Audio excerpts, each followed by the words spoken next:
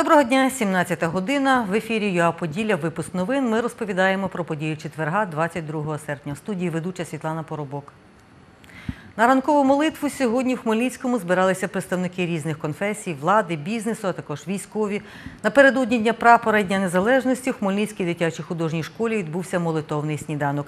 Ініціатором четвертого такого заходу стала місцева духовна рада. Хмельницький молитовний сніданок розпочався молитвою Отче наш.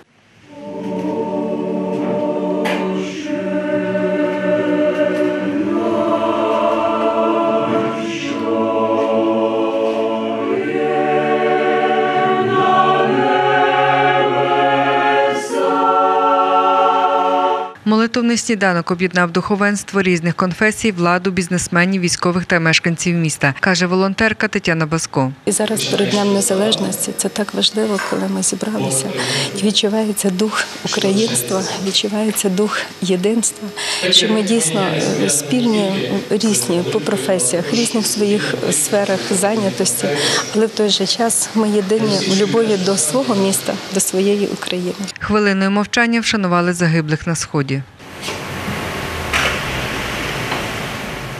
Такий захід це можливість знайти порозуміння, знайти спільні точки дотику, каже секретар Хмельницької єпархії Української православної церкви Олександр Дацюк. На мою думку, е, це є е, величезне досягнення, що представники різних конфесій, представники різних політичних партій, е, громадськість може зустрітися ось на такому гарному заході зранку, піднести молитву Богу, спільно познайомитись, спільно помолитися за мир, за наше місто, за українську державу. Особисто для мене це означає те, що наша держава рухається в правильному напрямку разом з Богом. Тому що коли тут зібрані керівники міст області, коли тут зібрані представники підприємств, бізнесу, військові, громадські організації, значить ці люди розуміють, що побудова дійсно сильної держави можлива лише за допомогою Бога. І тому ці люди зібралися тут, щоб провести певний час саме у молитві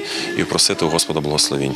Голова Духовної ради міста Хмельницького, митрополит Хмельницький і Кам'янець-Подільський православної церкви України Антоній Махота каже, молитовні сніданки стали потрібними для спілкування між представниками влади і духовенством. Ми всі е, і священнослужителі, і світські люди працюємо на одне на процвітання нашої держави, на спокій в наших містах, на е, спасіння душ наш кожного індивідуально і всіх разом.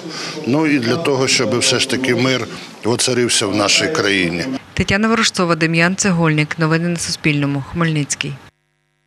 Цілодобове перебування під домашнім арештом до 4 жовтня за місцем проживання. Таку ухвалу виніс сьогодні суддя Хмельницького апеляційного суду Володимир Барчук у кримінальній справі хмельницького громадського активіста, екс-голови місцевого осередку Українського об'єднання Автомайдан Артуру Сторожуку. Подробиці знає Леся Боровець. До Хмельницького апеляційного суду звернувся прокурор військової прокуратури Західного регіону України Юрій Лужняк із апеляційною скаргою щодо рішення Хмельницького міськрайонного суду у кримінальній справі стосовно обвинувачуваного Артура Сторожука, якому інкримінують шахрайство. врахувати ті обставини, які в ній зазначені, е, і ухвалу слідчого судді Хмельницького міськрайонного суду від 12 серпня 2019 року скасувати та ухвалити нову ухвалу е, про застосування відносно підозрюваного сторожука Артура Мисевича 26.06.74 року народження запобіжного заходу у вигляді тримання під вартою терміном на 60 діб. Адвокат та обвинувачуваний заперечують задоволення апеляційної скарги прокурора. Заперечуємо щодо задоволення даної е, даної апеляційної скарги. Вважаємо, що вона є такою, яка не підлягає. Артура Сторожука цікавило, чому його справою займається військова прокуратура. Юрій Лужняк пояснив це рішенням генерального прокурора. Слідство здійснюється органами поліції, нами здійснюється процесуальне керівництво.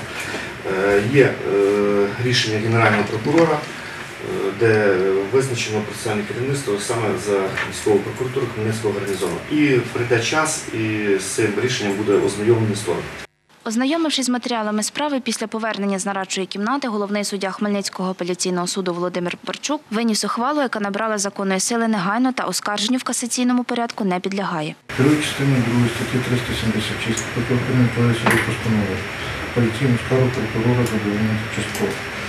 Ухвалу слідчого судді Хмельницького суду від 12 серпня 2019 року відносно Сторожука Родницевича скасувати. Постановити нову, яку обрати Кирилу Сторожуку, який носиться запобіжний захід у вигляді цілодобового домашнього арешту за місцем проживання до 4 жовтня 2019 року. Адвокат у справі Аля Возняк з рішенням суду каже, не згодна. Ну, Я, чесно кажучи, просто обурена, тому що вважаю, що на сьогоднішній день в такий спосіб посадові, досить серйозні посадові особи мають право впливати на суд, впливати на правоохоронні органи, і е, завдяки такому впливу просто, е, скажімо, примушувати е, осіб, де є лише цивільні правові відносини. Якщо вони навіть і є, то лише цивільно правові відносини, але в такий спосіб е, вимагати, щоб люди повертали е, кошти, яких принаймні е, я вірю своєму підзахисному, принаймні які він вже давним-давно повернув. Вісім років всіх все влаштовувало. Людина не вважала себе обманутою за вісім років. Якраз коли почався виборчий процес, коли оголосив про своє бажання балотуватись, моментально людина згадала, що його обманули вісім років тому. Чому людина мовчала вісім років? Ну, напевно, тому що не було виборів. І не було моїх е, якихось політичних амбіцій. Леся Боровець, Анастасія Збродова, Володимир Зеленчуковський. Новини на Суспільному. Хмельницький. Нагадаю, хмельницькому активісту, екс-голові місцевого осередку Всеукраїнського об'єднання «Автомайдан» автору Сорожуку інкримінують частину 3 статті 190 Кримінального кодексу України шахрайство вчинено в великих розмірах або шляхом незаконних операцій з використанням електронно-обчислювальної техніки. За словами самого Артура Сторожука, слідчі висунули йому підозру у шахрайстві, яке він нібито скоїв 8 років тому. Чоловіку загрожує позбавлення волі на строк від 3 до 8 років. У головному управлінні Нацполіції області ситуацію щодо Артура Сторожука не коментують. Працівники Нацполіції Хмельницької області сьогодні вшановували своїх колег, які загинули під час виконання службових завдань. Таких є 34, і на мітингу реквіями згадали кожного з них. Далі репортаж з місця цієї події.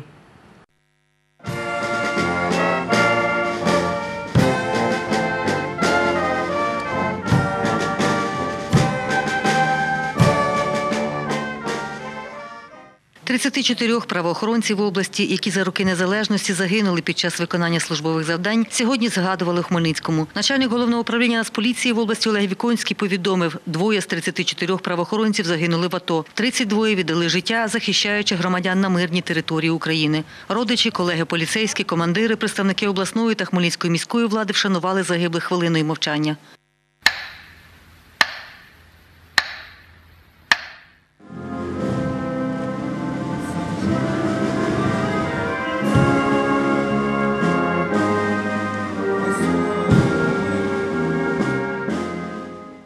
Присутні поклали квіти до підніжжя пам'ятника.